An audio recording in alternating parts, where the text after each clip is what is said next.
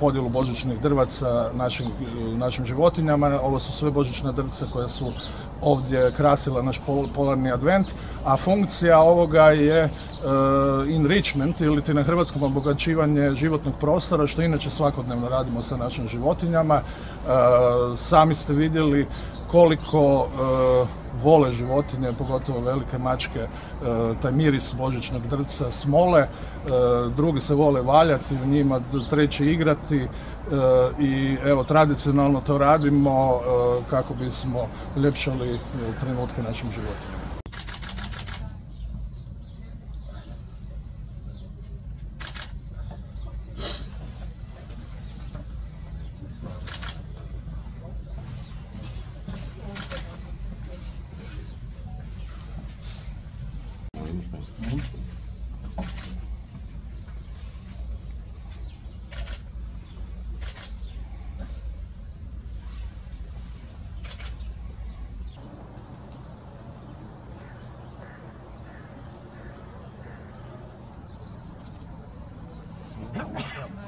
životinjama.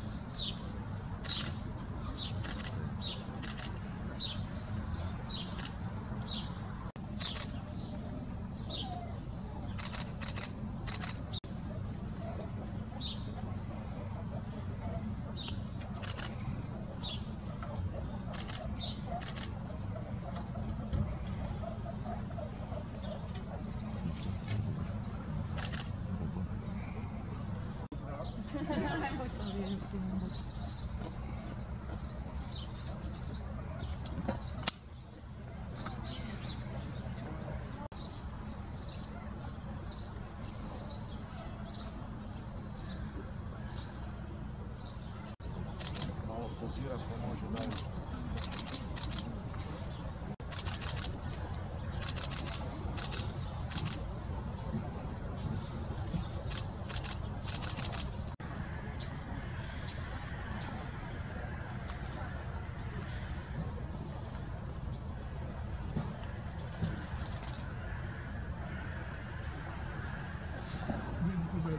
Ipak ovaj, reagiraju, ono samo treba vreme. vreme.